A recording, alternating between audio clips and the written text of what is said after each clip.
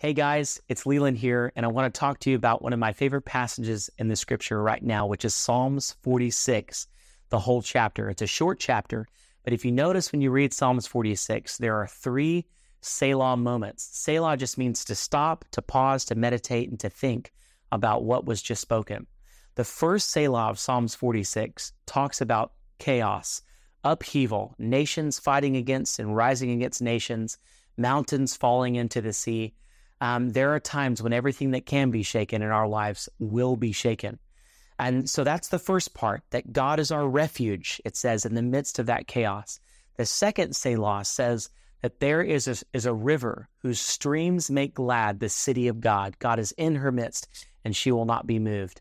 There is a peace that surpasses our understanding that comes to the revelation when you understand that you are not just uh, a Christian, but you're a citizen of another kingdom, and that kingdom will never be shaken that lives on the inside of you.